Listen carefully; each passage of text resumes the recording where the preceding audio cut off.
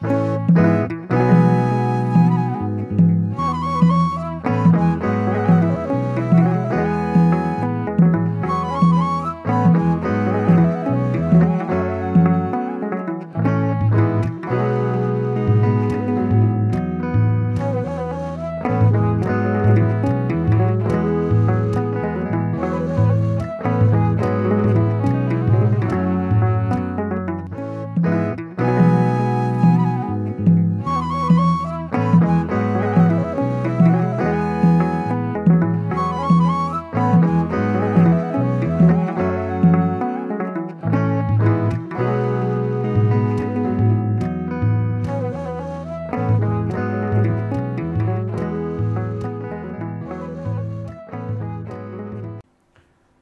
እዚህ የሰበሰበን ምንድን ነው?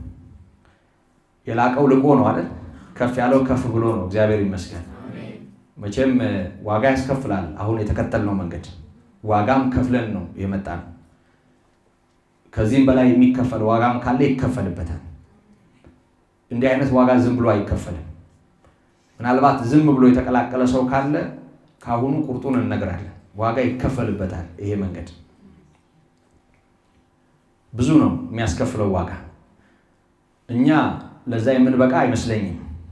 ማለትም ያለንበት ዘመንና ሁኔታም ለዛ ብዙ የሚዳርግ አይደለም። ግን የህይወት ዋጋም የሚከፈልበት እውነት ነው። ይሄ ሁልጊዜ ያከበርነው ነገር ክብር ካጣ ክብር የሚያጣው ወይ ክብሩን ባለማወቃችን ነው ማለትም በዚያ ጉዳይ ላይ ያለን ግንዛቤ ደካማ ሆኖ ነው፣ ወይ ደግሞ ከሱ የላቀውን አይተን ነው። ብሉይ ኪዳን የራሱ ክብር አለው። ዝም ብሎ የሚናቅ አይደለም። አንዳንድ ጊዜ ወንጌል ገብቶናል ብለን ዝም ብለን የሆነ የምንጠርበው ነገር አለ፣ ልክ ባልሆነ መንገድ። የራሱ ክብር ነበረው አይደል? የራሱ ሞገስ ነበረው። በክንድ የተለካ ርቀት ነበረው። ማንም ሰው ዝም ብሎ አይጠቀም። ታስታውሳላችሁ? ታቦተ ጽዮን ከምርኮ ስትመለስ የተሸከሙት እንስሶች ሲፈነጥዙ ሊገለበጥ ነው ብሎ የሳሳ አንድ ሰው ኦዛ የሚባል ሰው ለመደገፍ ሞከረ። እሱ ሰውዬ ያሳዝነኛል። አያሳዝንም? ያሳዝናል። ኪዳኑ ምን ያህል ከባድ እንደነበረና ዝም ብለን በበጎ ሕሊና የምንቀላቀለው እንዳልነበረ ያሳያል። ድጋፍ እኮ ነው። የእግዚአብሔር ማደሪያ እንዳይወድቅ ሊደግፍ ነው። ደግሞ አንተም ማነው ደጋፊ ያደረገህ ብሎ የማይደገፈውን ሊደግፍ ሲሞክር አስቀረው ሜዳ ላይ። ግን በዚህ ታሪክ ውስጥ ምን ያህል ምን ያህል ጥንቃቄ የሚፈልግ ነገር እንደነበር ነው የሚያሳየው። ከዚህ ጋር ተያይዞ አሁን ጊዜ አላጠፋበትም። በትምህርታችን ውስጥ የምናያቸው ነገሮች ይኖራሉ። የሆነ ሆኖ የራሱ ክብር ነበረው ብሉይ ኪዳን። እነ ሙሴም ክብር ነበራቸው የራሳቸው። ራሳቸውም አልዳኑም፣ ህዝብንም አላዳኑም እንጂ ግን የተከበሩ ሰዎች ናቸው።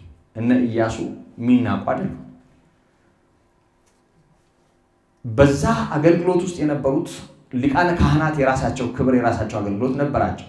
የሚነበበው መጽሐፍና አጠቃላይ ኪዳኑና ከዛ ጋር የተያያዘው ነገር እንዲህ በቀላል የሚታይ አልነበረም።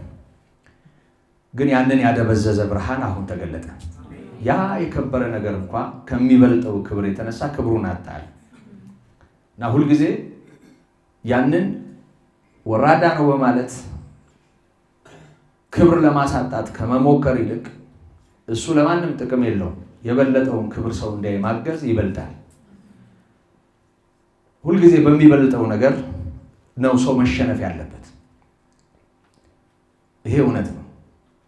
ስለዚህ ላቅ ያለውን በማላቅ ክርስቶስ በልባቸው እንዲሳል በንጽጽር ያገለግላል፣ ይጽፋል። የግድ ሲሆን ነው መቼም ንጽጽርም ቢሆን የግድ ሲሆን ታነጻጽራለህ እንጂ ክርስቶስ ከማንም ጋር አይነጻጸርም። ግን አንዳንዴ አስገዳጅ ሁኔታ ሲኖር ማንነቱን ከማንነታቸው አገልግሎቱን ከአገልግሎታቸው በእርሱ የተገኘውን በእነርሱ ካልተገኘው ጋር አነጻጽረን እናወራለን፣ እንናገራለን፣ እንሰብካለን፣ እናስተምራለን። እነሱም እንደሱ ነው ያደረጉት። ስለዚህ በንጽጽር ላቅ ያለውን በማላቅ ከተደበላለቀ አምልኮ ለክርስቶስ የተለየስ ቦታ ካጣ ማንነት እነርሱን ለመታደግ ባደጉበት ባህልና የሃይማኖት ስርዓት ተስበው ይህንን ማየት ላቃታቸው ሰዎች እጅግ የከበረውን እንዲያዩ የሚያስችል መልእክት ነው። ይመለከተናል፣ እኛንም ጭምር። ላቅ ያለውን ማላቅ ነው ስራው። ስለዚህ ይሄ ዲፎከስ የሆነው ብዥ ያለውን የተደበላለቀውን ያልጠራውን ማንነታችንን የሚያጠራና እዚህ ውስጥ ለሁሉም ቦታ ቦታቸውን የሚሰጥ መልእክት ነው። በሁለተኛ ደረጃ ከወገኖቻቸው ባላመኑ ሰዎች ነቀፋ ምክንያት እነዚህ ሰዎች ከዕብራውያን ተነጥለው የክርስቶስ የሆኑ ናቸው። ከዛ ባህል ወጥቶ ክርስቶስን መከተል ብዙ ዋጋ ያስከፍል ነበር እና በጣም በሕይወታቸው ነቀፋ ነበረባቸው። የሕይወት ዋጋ አልተከፈለም በጊዜው። ከመካከላቸው ይህ መልእክት በተጻፈበት ጊዜ የተገደለ ሰው መኖሩን አናይም። ግን አንዳንዶቹ እንደ መጫወቻ ሆነዋል። በቃ መቀለጫ ይሆናል። በእኛም ሀገር ይሆናል። አንዳንዴ እንደዚህም የሆነባችሁ ሰዎች ትኖሩ ይሆናል። ይገርመኛል። ክርስቶስን አምናለሁ የሚል ሕዝብ በክርስቶስ ምክንያት ሲያሾፍ ሲያላግጥ ማየት በጣም ነው የሚያሳፍረው። በጣም አሳፋሪ የሆነ ጨለማ አሁንም እናያለን። ከዛ ባልተለየ ሁኔታ እንደዚህ አይነት ነገር ነበረባቸው። ስለዚህ ከወገኖቻቸው ወደ ክርስቶስ ያልመጡ በእነሱ አእምሮ ትልልቁን ቦታ የያዙ መምህራንና ሌሎች ሚዛን እንዳያሳጧቸውና ወደኋላ እንዳይጎትቷቸው ለማበረታታት ማንም እርፍ ይዞ ወደኋላ ቢሄድ ዋጋ እንደሚከፍል በማረጋገጥ እንደው ለስለስ ባለ ሁኔታ ባካችሁ በርቱ አይደለም። እኛስ ነፍሳቸው ሊያድኑ ከሚያምኑት ነን እንጂ ወደ ጥፋት ከሚያፈገፍጉቱ አይደለም። ከዚህ ማፈግፈግ ከሆነ የሃይማኖት ድርጅት የሆነ የሃይማኖት ድርጅት ውስጥ መግባት አይደለም። ከዚህ ማፈግፈግ ቤተ እምነትና መንደር መለወጥ አይደለም። ከብርሃን ወደ ጨለማ ከህይወት ወደ ሞት መሄድ ነው። እኛ ነፍሳቸውን ለማዳን ከሚያምኑት እንጂ ወደ ጥፋት ከሚያፈገፍጉቱ አይደለንም ይላል። ስለዚህ እንዳያፈገፍጉ ከዚህ እውነት የትኛውም የህይወት ፈተና እንዳይጎትታቸው በህይወታቸው ዙሪያ ካለ የማህበረሰቡ ተጽዕኖና ብዙ አስቸጋሪ ነገር በላይ ለተከፈለላቸው ዋጋ ቦታ እንዲሰጡና ክርስቶስ የከፈለው ዋጋ ብቻም አይደለም፣ ወደ ወንጌል ሲመጡ አስቀድመው የከፈሉት ዋጋ አለ። ራሳቸው እንኳ የሚያውቁት ዋጋ አለ። ከጊዜ በኋላ ግን በዛው ነገር አልጸኑም። አንዳንዴ በጣም የሚገርም ዋጋ ከፍለን ተሻግረን በማይረባ ነገር ደግሞ እንፈተናለን። አሁን ኤርትራን የተሻገረ ዮርዳኖስ ላይ መጨነቅ ነበረበት። ማራ ጣፍጦለት ወይም እዛ ቦታ ላይ እግዚአብሔር በአስገራሚ ሁኔታ ውሃ አፍልቆ አጠጥቶት ደግሞ ቃዴስ በርኔ ላይ መረበሽ ነበረበት። ፈርዖንን ከነሰራዊቱ እግዚአብሔር ሲጥል ያየ ህዝብ እነዚህ ሰዎች በሰይፍ ይበሉናል፣ ምድሪቱ የምትባላ ናት ማለት ነበረባቸው? አልነበረባቸው። አንዳንዴ በእኛ ህይወት እንኳ ትላንትና በርትተን ያለፍናቸው ብዙ ነገሮች እያሉ ዋጋ የከፈልንላቸው የከፈልንባቸው ብዙ ነገሮች እያሉ ግን የሆነ ቦታ ላይ ትጥቅ እንፈታለን። ልባችን ይላላል፣ ህሊናችን ይላሽቅና አንዳንዴ በሰማይ ከሚጠብቀን ክብር በላይ የእኛን ተጋድሎ እንቆጥርና በዛ እንላለን። እንደዛ የሚሉ ሰዎች ያጋጥማሉ። የኔ በዛ ይላል። በምን ተለክቶ ነው ያንቺ የሚበዛው የኛ የሚበዛው ያንተ የሚበዛው? ምንድን ነው ስታንዳርዱ? በማን? በህይወት ያውም በዘላለም ክብር በጌታ በኢየሱስ ለዚህ እውነት መከፈል ባለበት ነገር ተለክቶ ነው ወይስ እኛ በእኛው ታዛ ስር ባለ ነገር ለክተን? ይህን ማስተዋል ያስፈልጋል። እና ምን ይላቸዋል? ግማሾቻችሁ በጭንቅና በነቀፋ ይላል። ግማሾቻችሁ ደግሞ እንዲህ ካሉት ጋር በመተባበር በታላቅ ተጋድሎ የጸናችሁበትን ያለፈውን ዘመን አስቡ ይላቸዋል። አንዳንዶቹ ቀጥታ መከራ ይቀበላሉ። አንዳንዶቹ ደግሞ መከራ የሚቀበሉ ሰዎችን በመቀበል መከራ ይቀበላል። እንደሱ ነው የሚሆነው። አንዳንዱ ቀጥታ ነው የሚነቀፈው። አንዳንዱ የሚነቀፉ ሰዎችን ሰላም በማለት ነው የሚነቀፈው። በዚህ መከራ የሚቀበሉ ሰዎች አሉ። እኛ በክርስቶስ መከራ ስንቀበል በእኛ ደግሞ የሚቀበሉ ሰዎች ነበሩ እና እዚህ አካባቢ አንገናኝ የሚሉን ሰዎች ነበሩ። ቴዎሎጂ እያለ ውጭ ሌላ ቦታ ነው። አንዳንዴ ደግሞ እንትንም እናደርገዋለን። እኛ እኮ ክርስትናችን ራሱ በሰው ጥበብ የተተበተበ ነው። ሌላው ቀርቶ ይሄ ካመለጥንም በኋላ ያለን ህይወት እንደ ወንጌል እውነት አይደለም። ብዙ እኮ ችግር አለብን። ራሱ አልጠራንም። እኛ ራሱ ጠራን የምንለውም እኛም አልጠራንም። አንዱ ከሌላው ጋር ጨክኖ አይቆምም። እንደ አንድ አባት ልጅ እኮ ጨክኖ አይቆምም። ጥበብ ነው አይደል? አብሮ አለመቆም፣ አብሮ አለመቆጠርም ጥበብ ነው አይደል? እንደሱ ነው የኖር ነው የሆነ ቦታ ተባብለን ተላልፈን ነው የኖር አንዳንዶቻችሁ ቀጥታ መከራን ትቀበላላችሁ ይላቸዋል። ቀጥታ ከወገኖቻቸው ይወርድባቸዋል። ደግሞ ብር ብለው የመጡትን እነሱን በመቀበል እነሱን በማስተናገዳቸው ደግሞ እንደ ኢያሶን ኢያሶን ታስታውሱት የለም ሐዋርያት ሥራ ምዕራፍ 17 ላይ ያየነው ሰው ተሰሎንቄ የደረሰበትን ታስታውሳለን። እሱ መከራ የተቀበለው እነ ጳውሎስን ተቀብሎ አንዳንዶቻችሁ ቀጥታ እንደ መጫወቻ ሆናችኋል ይላቸዋል። አንዳንዶቻችሁ ደግሞ እንዲህ ካሉት ጋር በመተባበር መከራ ተቀብላችኋል ይላቸዋል። የሆነ ሆኖ የንብረታችሁን ንጥቂያ በመልካም ተቀበላችሁት ይላል። ንብረታቸውን ተነጥቀዋል ብዙዎቹ። በማህበረሰብ ውስጥ ክርስቲያን እኮ ሰው የሚበላ ይሄ ስጋው ደግሞ ሰውን ይበላሉ ተብሎ ተተርጉሞ ነበር በጊዜው። ታውቃላችሁ? ይሄን በታሪክ ሰምታችሁ ታውቃላችሁ? የጌታ ስጋና ደም ሲባል እንደውም ተሰብስበው የበር ዘግተው ሲጸልዩ እኮ የህፃን ነው አርደው የሚበሉት የሰው ስጋ ነው የሚበሉት የሚል የወሬ ዘመቻ ነበር። እንደ ክርስትና የተጠላና የተናቀ በምድር ላይ አልነበረም። እስቲ ዝም ብላችሁ አስቡ። ኢየሱስ ክርስቶስን እንዴት አድርገው ተጸይፈው ከከተማ አውጥተው እንደቸነከሩት በዛው ልብና ህሊና በዛው መንፈስ ነው ምድሪቱ የምትኖረው። ባይዘወይ ክርስቶስን የሰቀለው ነው እኛንም እያሳደደ ያለ ሌላ እኮ ሰይጣን የለም። ያን ጊዜ የነበሩትን ቅዱሳን ያሳደደ ነው ዛሬም እያሳደደ ያለ። ያኔ ስሙን የተዋጋ ነው ዛሬም የሚዋጋ አዲስ ሰይጣን የለም። ሌላ ጌታ እንደሌለ እንዲሁ ምናልባት ካለንበት ሁኔታ ጋር ተያይዞ ከምንኖርበት አካባቢ ከኛ ምላሽ ጋር ተያይዞ የምናልፍበት መስመር ሊለያይ ይችላል። ግን ይሄ እውነታ ነው።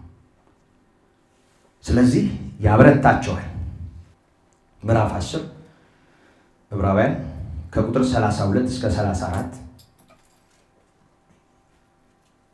ምዕራፍ 12 ቁጥር አራትን ያነሳል።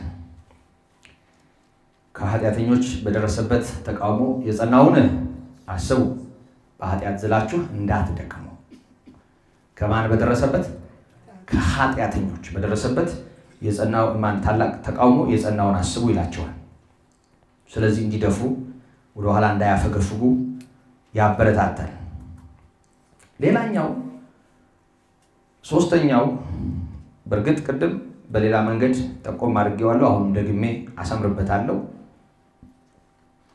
የክርስትናውን ከፍተኛ ትምህርት በማሳየት ማለትም የክርስቶስን ሊቀ ካህንነት በማሳየት በእውቀትና በሕይወት እንዲያድጉ ያለውን ምክርና ትምህርት ያሳያል። እነዚህ ሰዎች በክርስትና ውስጥ ረጅም ዘመን የቆዩ ናቸው። ቢያንስ 30 ዓመት። ግን ጸሐፊው በምዕራፍ አምስት ላይ ጠቆም እንደሚያደርገው 30 ዓመት በክርስትና ውስጥ የቆየ ሰው ሊኖረው የሚገባውን አይነት የእውቀት ዝግጅት የላቸውም። በሕይወታቸውም ውስጥ ችግር አለ።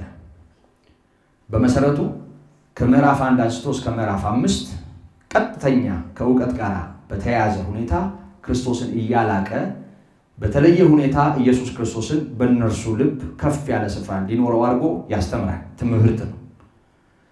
ምዕራፍ 11፣ 12 እና 13 እምነት፣ ተስፋና ፍቅርን በተመለከተ ሌሎችም ከግል ሕይወት ጋር የተያያዙ ምክሮችንም አጠቃሎ በሕይወታቸው ከፍ እንዲሉ ያስተምራል።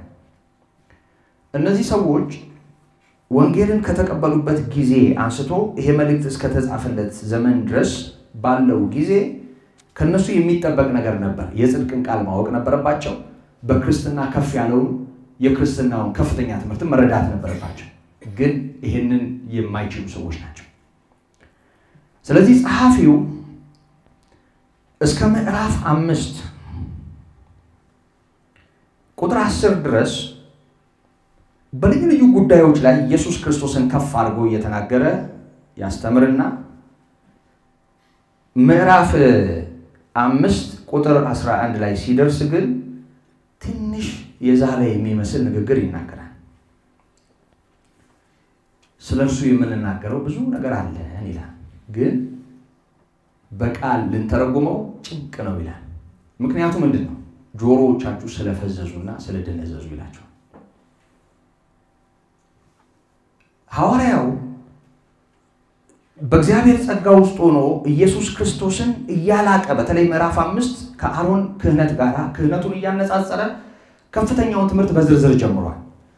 የዕብራውያኑ ከፍተኛ ትምህርት የክርስቶስ ሊቀ ካህንነት ነው። ምዕራፍ ሁለት ቁጥር 18 ላይ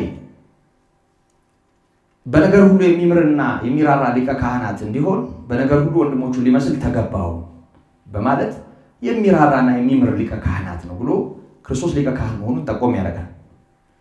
ምዕራፍ ሶስት የመጀመሪያ ቁጥር ላይ የሃይማኖታችን ሐዋርያና ሊቀ ካህናት የሆነውን ኢየሱስን ተመልከቱ ይልና አሁንም ሊቀ ካህናት ብሎ ጠቆም ያደርጋል። ወደ ምዕራፍ አራት ከቁጥር 14 ጀምሮ ይመጣና በሰማያት ያለፈ ታላቅ ሊቀ ካህናት የእግዚአብሔር ልጅ ኢየሱስ ስላለን ጸንተን ሃይማኖታችንን እንጠብቅ፣ ምሕረትን እንድንቀበል በሚያስፈልገን ጊዜ የሚረዳንን ጸጋ እንድናገኝ ወደ ጸጋው ዙፋን በእምነት እንቅረብ ይልና የክርስቶስን ሊቀ ካህንነት በተመለከተ ሰፋ ያለ ነገር ይሰጥና ምዕራፍ አምስት ላይ ከሰው ተመርጠው ስለ ሰው ይሾሙ የነበሩ የብሉይ ኪዳን ሊቃነ ካህናት ድካምና በራሱ እኔ ካህን ልሁን ሳይል በእግዚአብሔር የተመረጠው ሊቀ ካህናት እንደ መልከ ጼዴቅ የሆነው ሊቀ ካህናት ኢየሱስ እንዲነጻጸሩ ሆኖ ከመልከ ጼዴቅ ጋር ጭምር ክርስቶስን እንዲህ አድርጎ በማቆም ያሳያል። ይህንን ከፍተኛ ትምህርት ጀመረና ፎ ያለ ፎ ያለ ማለት አረፈ ማለት ሳይሆን የደከመው ይመስላል።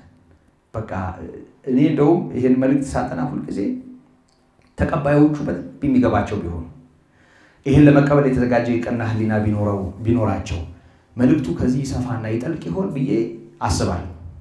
አይ በእነሱ መጠንማ እግዚአብሔር አልገደበብንም። ምክንያቱም ባለቤቱ መንፈስ ቅዱስ ስለሆነ ሐዋርያው የዛለ ልብን ቢኖረው የሕያው እግዚአብሔር መንፈስ አስገድዶት ይሄ ሁሉ ነገር ተገኝቷል። ስለዚህ አልቀረብንም ብዬ ደግሞ ራሴን አጽናናለሁ።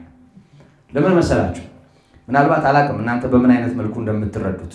አንዳንድ ጊዜ ከብሉይም ከአዲስም ኪዳን እንደው አምጠን በቃ ለሆነ በዓል ሊሆን ይችላል፣ ለሆነ መርሃ ግብር ሊሆን ይችላል፣ ተዘጋጅተን ስብከት እንሄዳለን።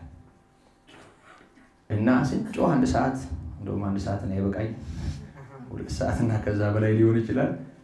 እና ሰው ጠብ ሳይልለት ጮኸን እንወርዳለን። እና ብዙ ጊዜ ይፈተን ነበር። ብዙ አገልጋዮች መጥቶ ያንተ ትምህርት ይከብዳል፣ አሰግድ እንዲሁ ሰው ይረዳ ይሆን ይላል እና ሰው ይረዳ ይሆን የሚለኝ እሱም ራሱ አልገባውም፣ አልተረዳኝም እና ብዙ ጊዜ ይቸገራል እና ብዙ እንደውም ሰዎች ያንተ ትምህርት አሁን ነው አይናችን ሲገለጥ ነው የገባን እንጂ ምንም አይገባም ያንተ ትምህርት ይላል። በአንጻሩ አንዳንድ ጊዜ በቃ ለምን ራሱ ጉባኤ እንደተዘረጋ እስከማይስተዋል ድረስ ጉባኤው በቃ በቃ የጫወታ መድረክ ይሆናል። ቀልድ ከዚህ ከዚህ አንድ ወንድሜ ነበር፣ አሁን ከአገልግሎቱ ወጥቷል። መውጣቱ ልክ ነው። እንዳንድ አጀንዳውን አንድ ጊዜ አየሁት እና አንድ ስብከት ልብስበክ ሄዶ ተራ በተራ የኔን መርሃ ግብሩም ይሸፍንልኝ ነበር እና በአጋጣሚ አጠገቤ ተቀምጦ ብድግ አድርጌ ሳነሳው ርዕስ አለ፣ የተወሰኑ ነጥቦች አሉ እና የአህያዋ ምሳሌ የጅቦቹ ምሳሌ ይላል እና ምሳሌ ልክ እንደ መጽሐፍ ቅዱስ ጥቅስ እዛ ላይ ይዟል እና ምሳሌዎቹ ከሚነገረው ከመጽሐፍ ቅዱስ እንትን ይበዛል እና በጣም ያስቃል፣ መድረክ ላይ ያዝናናል ሰዎች። ግን ወንጌል አይደለም። በመሰረቱ ሰው ብሎ ስላገለገለ ነው ልክ እያልኩ አይደለም። እሱ አይደለም መለኪያዬ መለኪያዬ እሱ አይደለም። የንግግር አቅምም አይደለም። ግን ይሄ ከክርስቶስ ሰማያዊ እውነት ጋር ያለውን ነገር የማይረዳ ሰው እንደ ማየት ከባድ ነገር የለም። እኔ ራሴ እንደ ሕፃን ሆናለሁ አይገባቸውም ብዬ የማስባቸው ሰዎች ፊቴ ሲኖሩ እኔ ራሴ ከየት ጀምሬ ወዴት እንደሚሄድ ራሱ ይረዱ ይሆን ይገባቸው ይሆን ጭንቅ ይለኛል። ምክንያቱም በጣም ገር የሆኑ በጣም የዋህ የሆኑ ህይወታቸውን ለመክፈል እንኳን የተዘጋጁ ግን በስራ የለመደ ልብ ስለሌላቸው መንፈሳዊ ነገር መረዳት አቅቷቸው ግራ የሚገባቸው ብዙ ትልልቅ ሰዎች ገጥመውኝ ያውቃል። ያስጨንቃል በጣም ይህ ከፍተኛ ትምህርት ነው። የክርስትናው ጣራ ነው። ይሄ ይህንን የክርስትና ጣራ ወይም ከፍተኛ ትምህርት የዕብራውያን ሰዎች መረዳት አይችሉም። መረዳት የማይችሉት በተደጋጋሚ የክርስትና ትምህርት ደንዘዋል። ወተት ነው ሁልጊዜ የሚፈልጉት።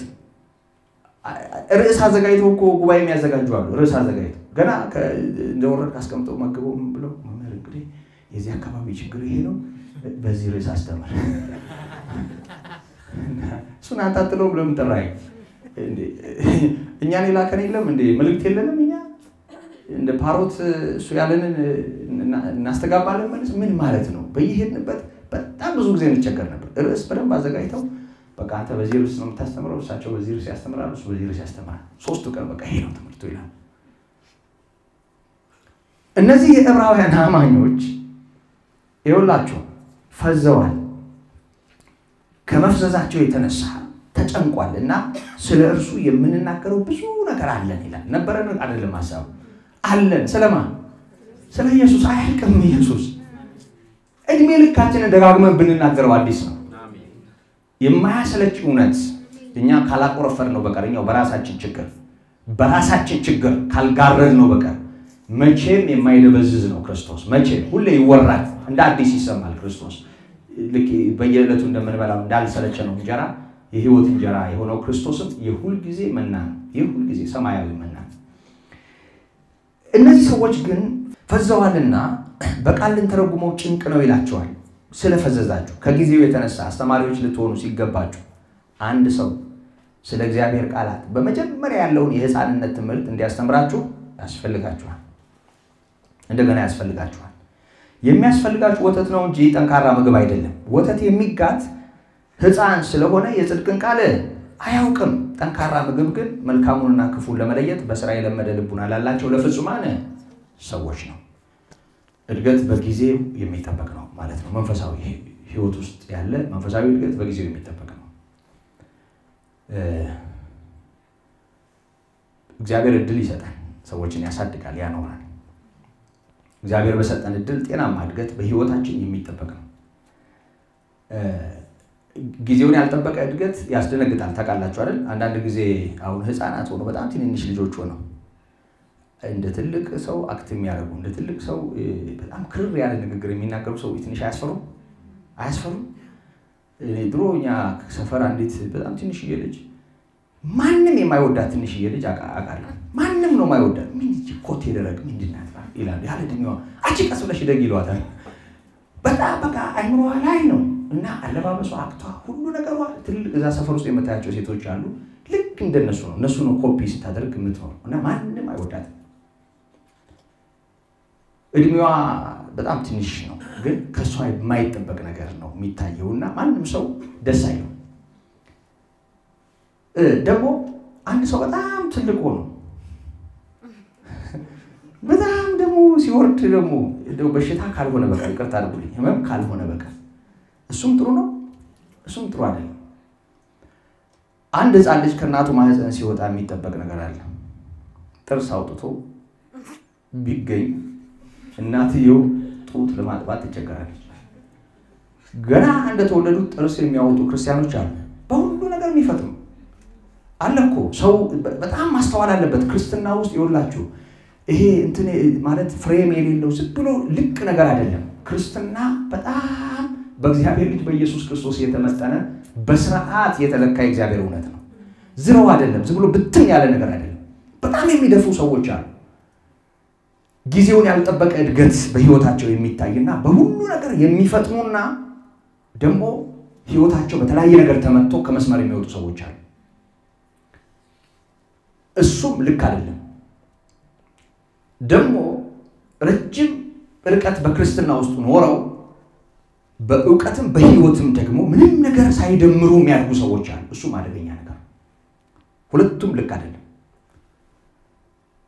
ወደ ራሳችን ህይወት አምጥተን ልናየው እንችላለን። ይሄንን ለማንኛውም የዕብራውያን አማኞች ከጊዜው የተነሳ መምህራን መሆን ይጠበቅባቸዋል። ለኢየሱስ ምስክር መሆን አለባቸው። ካሳለፉት ጊዜ የተነሳ ማስተማር አለባቸው። ካሳለፉት ጊዜ የተነሳ እንኳን ሊያስተምሩ ሁል ጊዜ ወተት ነው የሚፈልጉት።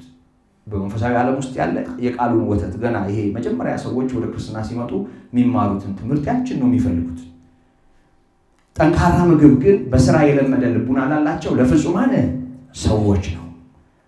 ልክ ይሄ ክንዳችን በስፖርት እንደሚፈረጥም ማጅራትም እንደሚደድር የሰው መስል በስፖርት በእንቅስቃሴ እንደሚጠነክር እንዲሁ የሰው ልቦናና ሀሳብም መንፈሳዊውን ነገር በማሰላሰልና በደንብ ጊዜ ሰጥቶ በማጥናት ያድጋል። የሰው እኮ ውስጥም ያድጋል። መንፈሳዊ ነገር እኮ ያድጋል። ብስለት የሚባለው መንፈሳዊ ብስለት የሚባለው ከግንዛቤ ጋር ከህይወት ጋር የተያያዘው ብስለት በሰጠነው ጊዜ መጠን በህይወታችን ይጠበቃል። ይህም ጊዜ ትኩረትና በእምነት የሚሆን መንፈሳዊ ልምምድን ይጠይቃል። ግልጽ ነው፣ ይጠይቃል። በስጋ እንኳ በአንድ ቀን ነው እዚህ ጋር የደረስነው ነው አይደለም። ዓመታትና ዘመናት አስፈልገውናል እድገት። የዛኑ ያህል ደግሞ አሁን ባለንበት እድገት የሚጠበቅ ነገር አለ። በእኛ ግንዛቤያችን ከሰው ጋር ባለን ግንኙነት፣ በምንሰራው ስራ፣ በምንኖረው ኑሮ ውስጥ የሚጠበቅ ነገር አለ። በሚታየው ነገር ማለት ነው። እንደ እድሜያችን የማይሆን ነገር ሁልጊዜ ደስ አይልም። ልክ እንዲሁ መንፈሳዊውም ዓለሙም ውስጥ የምናየው ችግር አለ። አንዳንዱ ዝም ብሎ ቱር ብሎ ላይ ይወጣና ስር እንዳልሰደደው ፀሐይ ሲነፍስበት ማነው ሲመታውና ንፋስ ሲወርድበት እንደሚጠወልገው ጭንጫ ላይ እንደበቀለው ይሆናል። እድገቱ ዝም ብሎ የተግለበለበ ይሆንና በተለያየ ነገር ከስሞ ከመስመር ይወጣል። አንዳንዱ ደግሞ ይሄ በቃ ይሄ አድሮ ቃሪያ ከርሞ ጥጃ ምናምን የሚባል ነገር አለ። በቃ ሁልጊዜ እዛችሁ ምንም ለውጥ የሌላቸው በጣም በቃ ታማኝ ድንጋዮች አሉ። አሁን በየቤተ ክርስቲያን ሁልጊዜ ሰው የሚቀመጥባቸው ዛፎች አሉ። ይህ ሁልጊዜ ልክ እንደዛ መንፈሳዊ ሕይወትም ውስጥ በቃ ካሉበት ምንም መንፈሳዊ ግንዛቤ ምንም ሳይጨምሩ ዝም ብለው ቶሎ ቶሎ እያሉ ዘመናቸው የሚፈጁ ሰዎች አሉ። እሱም አደገኛ ነገር ነው። እነዚህ ሰዎች እንደዚህ ናቸው። ስለዚህ ከጊዜው የተነሳ መምህራን መሆን ይገባችኋል። እናንተ ግን የሕፃንነትን ትምህርት ገና ወተት ነው የምትፈልጉት። ይሄ የጽድቅ ቃል እኮ በስራ የለመደ ልቡና ላላቸው ለፍጹማን ሰዎች ነው። ስለዚህ በስራ የለመደ ልብ ያላቸው ፍጹማን ሰዎች የሚቀበሉት፣ የሚያስተናግዱት፣ የሚማሩት ትምህርት ነው በማለት እነዚህ ሰዎች በህይወት እንዲያድጉ ያስተምራል። ከፍ ወዳለው ትምህርትም በእውቀት ከፍ እንዲሉ ጭምር ይወቅሳል፣ ያስተምራል። መጨረሻ ላይ ይህን መልእክት በተመለከተ ልዩ የሆኑ አጽንኦቶች አሉ። እነሱን ነጥቦች አስታውሼ መልእክቴን አጠቃልላለሁ። ከሌሎቹ የጳውሎስ መልእክታትም ይሁን በአጠቃላይ በአዲስ ኪዳን ከምናገኛቸው መልእክታት ለየት የሚያደርጉት ነገሮች አሉ። አንደኛው በጠንካራ ማስጠንቀቂያ የታጀበ ነው። ይሄ የዕብራውያን መልእክት በጣም በተስፋ ያለመልማል። ሰው በጣም በተስፋ ያለመልማል። አሜን የሚያሰኙ እጅግ ደስ የሚሉ ምናልባት ከዚህ በፊት ካላስተዋልናቸው ስናስተውላቸው እግዚአብሔርን የምናደንቅባቸው ችሮታውን፣ ምሕረቱን፣ ይቅርታውን የምናይባቸው አስደናቂ ትምህርቶች አሉት። ደስ የሚሉ ግን የሚገርመው ነገር ከእያንዳንዱ ድንቅ መልእክት ቀጥሎ ማስጠንቀቂያዎች አሉት። ጠንካራ ማስጠንቀቂያዎች እና ማስገንዘቢያዎች በመልእክቱ ከአምስት ያላነሱ ጠንካራ ማስጠንቀቂያዎችን እናያለን። የመጀመሪያው ይህንን እውነት ቸል ማለት ቸል ማለት ቸል ማለት ማለት አለማመን ማለት አይደለም። መቃወም ማለት አይደለም። መካድ ማለት አይደለም።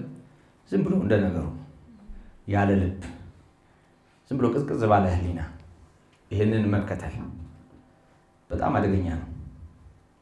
እኛ ከሃዲውን ላይ ነው አይደል ብዙ የምንለው ወይም ተቃዋሚው ነው የሚታየን። ቸልተኛውም አደጋ ላይ ነው ያለው ይላል። ምዕራፍ ሁለት ከቁጥር አንድ ጀምሮ እስከ አራት ይህን ማስጠንቀቂያ ይነግረናል። ቸልተኝነት የሚያስከፍለውን ዋጋ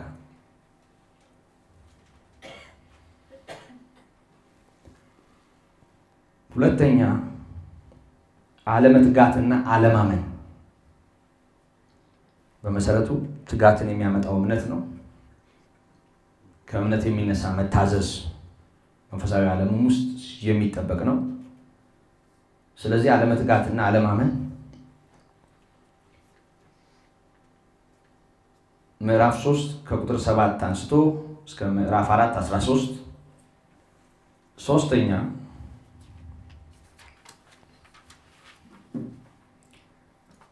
አለማደግና መካድን በተመለከተ ምዕራፍ 5 ከቁጥር 11 ጀምሮ ምዕራፍ 5 ከቁጥር 11 ጀምሮ እስከ ምዕራፍ 6 ቁጥር 20 ኃጢአትን መውደድና ጌታን መቃወም።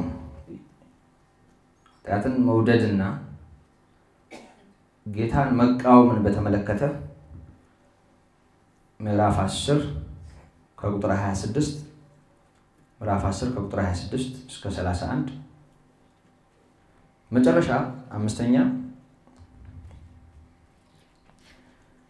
በጌታ መገሰጽን አለመፈለግ።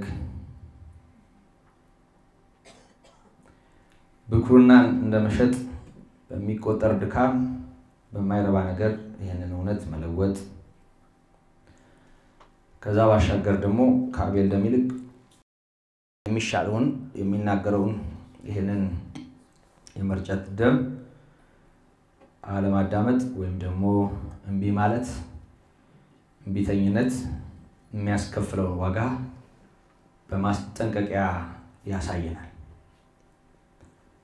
ስለዚህ ቸልተኝነት በኃጢአት ልምምድ ምክንያት የሚመጣ አለማመንና እምቢተኝነት ከዛም ባሻገር መካድ ጌታን እና መቃወም በጣም የተለያዩ ነገሮች ናቸው። በደንብ አስተውሉ። ቸል ማለት ካለማመን ይለያል። እሱም የሚያስከፍለው ዋጋ አለ። አለማመን በጣም ከባድ ነገር ነው።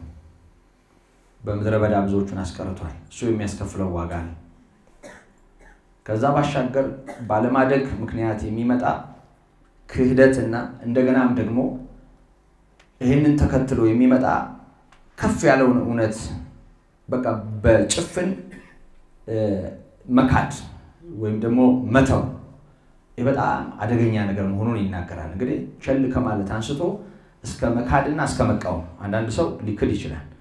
ደግሞ የሚቃወምም ይኖራል። አለማመኑ አንድ ነገር ነው፣ መቃወሙ ሌላ ነገር ነው እና በጣም ሰዎች ሊጠፉ የሚችሉባቸውን ጽንፎች ያሳየናል። በጣም ቀላል ከሚመስሉ ድካሞች ጀምሮ በጣም እስከ ትልልቅ ከጌታ ጋር እስከሚያጋጩ ነገሮች እንድናይ ያግዘናል። ስለዚህ እነዚህ ጠንካራ ማስጠንቀቂያዎች በጣም የሚገርመውን ተስፋ ተከትሎ በዚህ መጽሐፍ ላይ የምናየው አንድ አጽንዖት ነው።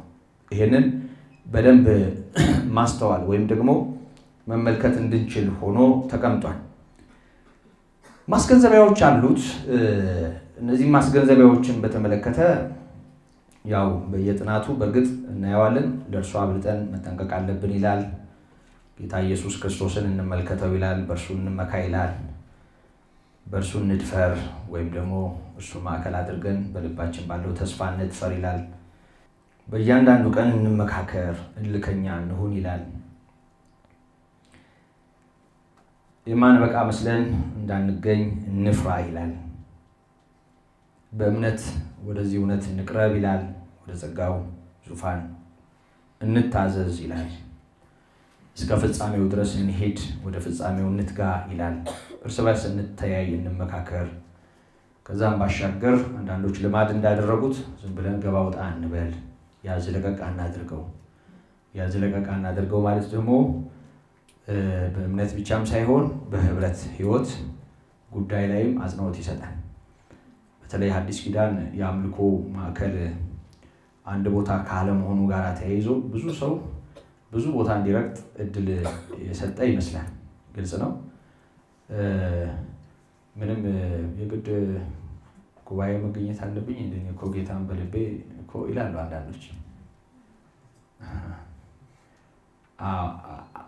አካል ምን እንደሆነ ስለማይገባን እዛ አካል ላይ ያለን ስፍራ ስለማይገባን ሙሽራይት ምን ማለት እንደሆነ ስለማይገባን እግዚአብሔር በህብረት ውስጥ ወይም ለቤተ ክርስቲያን የሰጠውን ጸጋ በተመለከተ ስለማይገባን ብዙ ነገር ዝም ብለን ቸል ብለን ተዘልለን ነው የምንኖረውና ለራሳችን ነፃነት ሰጥተን ከመንፈሳዊ ዓለም አፈትልከን ነው የምንኖረው እና ጉድለት አለው፣ አደጋ አለው። ምንም ማለት እንደሆነ ህብረት አለማድረግ፣ በመንፈሳዊ ህብረት ውስጥ አንድ ላይ አለመሆን ምን ማለት እንደሆነም አበክሮ ያስጠነቅቀናል፣ ያሳየናል፣ ያስተምረናል።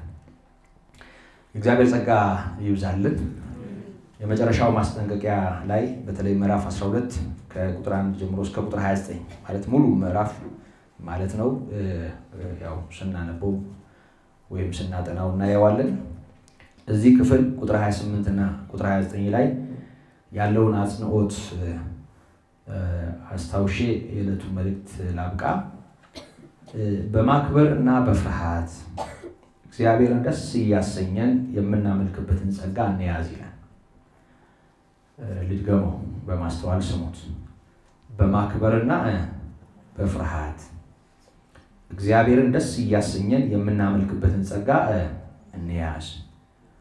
አምላካችን በእውነት የሚያጠፋ እሳት ነውና ይላል። እግዚአብሔር መከበር አለበት። እግዚአብሔር መፈራት አለበት። ደግሞ የምናመልክበት ብቻም ሳይሆን እግዚአብሔርን ደስ እያሰኘን የምናመልክበትን ማምለክ እንግዲህ በልዩ ልዩ መንገድ ይገለጣል። እግዚአብሔርን እያሳዘኑ ማምለክ አለ። እንደ ልብ እየኖሩ ማምለክ አለ። ግልጽ ነው። እግዚአብሔር በማይከብርበት ብዙ ድካም፣ ብዙ ስንፍና፣ ብዙ ርኩሰት፣ ብዙ ኃጢአቱም ውስጥ እያለፉ ግን አምልኮ ላይ መጀገን ይቻላል። እንደዛ መሆን ይቻላል።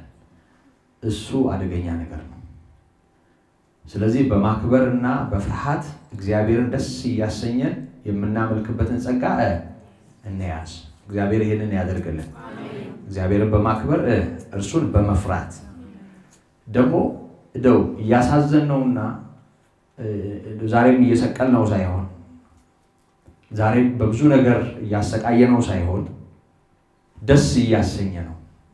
እግዚአብሔር በልጁ ደስ ብሎታል አይደል? በልጁ ደስ ያለው ለምንድን ነው? ልጁ ስለሆነ ብቻ ነው። ልጁ እኮ ፍጹም ታዛዥ ነበር አይደል? ለሞት ያውም ለመስቀል ሞት የታዘዘ ሆነ ይላል። ምንም ልጅ ቢሆን ከተቀበለው መከራ መታዘዝን ተማረ። ከተፈጸመም በኋላ በእግዚአብሔር እንደ መልከ ጼዴቅ ሹመት ለዘላለም ሊቀ ካህን ተብሎ ስለተጠራ ለሚታዘዙለት ሁሉ የዘላለም መዳን ምክንያት ሆነላቸው። እግዚአብሔር በኢየሱስ ክርስቶስ ደስተኛ ነው ስንል ኢየሱስ ክርስቶስ ልጁ ስለሆነ ብቻ ደስ አለው ማለት አይደለም። አባቱን መግለጥ በሚችል ክብርና ማንነት በምድር ላይ እየተገለጠ በመሆኑም ነው እግዚአብሔር ደስተኛ የነበረው። ምክንያቱም የክብሩ መንጸባረቅና የባህሪው ትክክለኛ ምሳሌ ነው። እሱን ማሳየት የሚችል እሱን መግለጥ የሚችል እሱን በሰው ልብና ማንነት መሳል የሚችል በፍጥረት ዓለም አልተገኘም። አንድያ ልጁ ግን ተረከው እና አሳየው። በሰው ልጆች መካከል አባቱን ሕያው አደረገ፣ አባቱን አንቀሳቀሰ። ስለዚህ ሰዎች ክርስቶስን አይተው አባቱን አዩ። እኔን ያየ አብን አየ። እስካሁን ከአንተ ጋር እያለሁ ያለው ያለ ምክንያት አይደለም። አብ ነው ማለት አይደለም። ግን ወልድን ያዩ ሰዎች አብን ያዩ ነበር። እኔም ባታምኑ ስለ ራሱ ስለ ስራው አታምኑ ይል ነበር ክርስቶስ። እኔ እኮ የማደርገው አባቴ ሲሰራ ያየሁት ነው። እኔ እኮ ከራሴ ምንም ላደርግ አልችልም ይል ነበር። ኢየሱስ ክርስቶስ ሙሉ አገልግሎቱን ለአባቱ ክብር አደረገ። ስለዚህ እግዚአብሔር ረካ በክርስቶስ ደስ አለው። በቃ የሚፈልገውን አገኘ። ስለዚህ በእሱ ደስ የሚለኝ ያለው እግዚአብሔር አንተ እንደ መልከ ጼዴቅ ለዘላለም ካህን ነህ ብሎ ማለ፣ አይጸጸትምም ተብሎ ተነገረለት። ስለዚህ ጌታ ኢየሱስ ክርስቶስ በስጋ ወረት ከሞት ሊያድነው ወደሚችል በብርቱ ጩኸት ከእንባ ጋር ጸሎትና ምልጃን አቀረበ። እግዚአብሔርንም ስለ መፍራቱ ተሰማለት።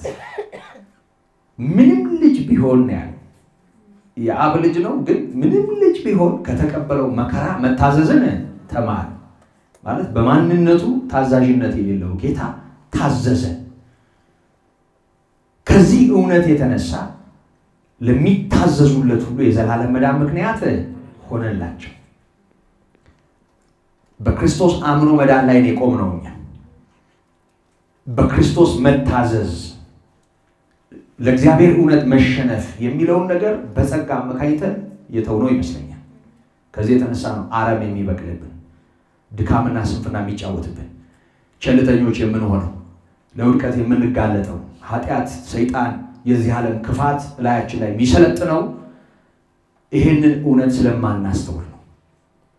ስለዚህ እግዚአብሔርን በማክበር እግዚአብሔርን በመፍራት እርሱን ደስ እያሰኘን የምናመልክበትን ጸጋ እንያዝ። በእውነት አምላካችን የሚያጠፋ እሳት ነው። እግዚአብሔር ቀን ቀጥሮ በብዙ ትዕግስት ነው ያለው ሁሉ ወደ መዳን እንዲደርሱ እንጂ እንዳይጠፉ እግዚአብሔር ወዶ ይታገሳል። በብዙ ትዕግስት ምድሪቱን ተሸክሟታል። ብዙ ግልሙትናዋን፣ ብዙ ነውሯን፣ ብዙ አመፃዋን ችሏል እግዚአብሔር በብዙ ምሕረት ግን አለ። ከቁጣው ደግሞ እሳት የሚወጣበት ቀን አለ። በጽድቅ የሚበይንበት ቀን አለ። ጌታ በክብር የሚገለጥበት ቀን አለ። ለእያንዳንዱ እንደ ስራው የሚሰጥበትም ቀን አለ። ስለዚህ እናክብረው፣ እንፍራው። የጥበብ ሁሉ መጀመሪያ እሱ ስለሆነ ደግሞ ደስ እያሰኘ ነው። የምናመልከትበትንም ጸጋ እንያዝ። በእውነት አምላካችን የሚያጠፋ እሳት ነው። የማይደፈር ነው እግዚአብሔር። የማይናቅ ነው እግዚአብሔር። ቸል የማይባል ነው እግዚአብሔር። ኢየሱስ እኛን ያተረፈው ታዞ ነው፣ ያውም ለመስቀል ሞት።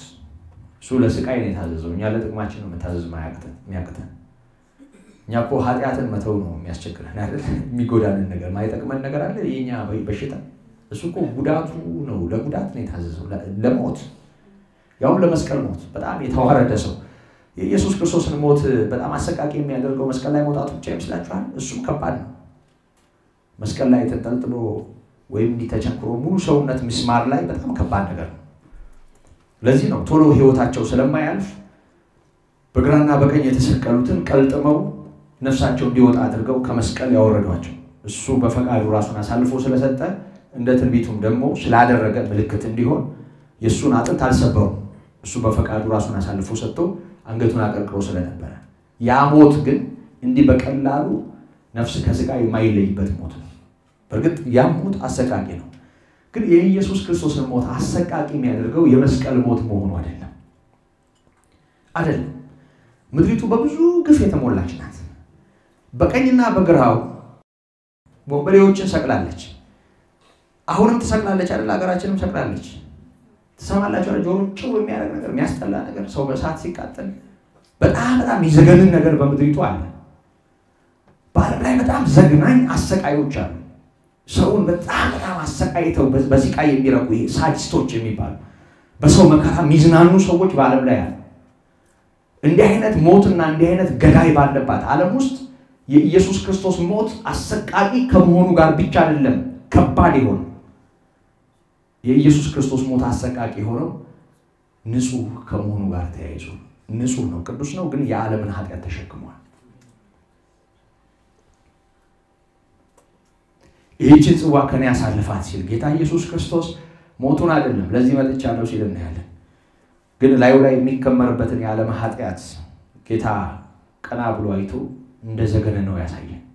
ምክንያቱም የሁላችንም ርኩሰት እሱ ላይ ተከምሮ ነበር። ከኛ እያንዳንዱ ወደ ገዛ መንገዱ አዘነበለ። እግዚአብሔር ግን የሁላችንን በደል በእርሱ ላይ አኖረ።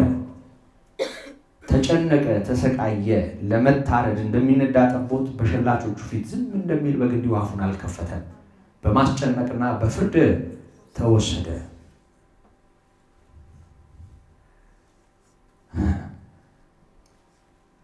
ይሄ ሞት ከባድ የሆነው የተረገመ ሰው ሞት ስለሆነ ነው። የተጠላ ሰው ሞት ስለሆነ ነው። ጌታ ቅዱስ ነው፣ ነውር የለበትም፣ ኃጢአት የለበትም፣ ነቅ የለበትም።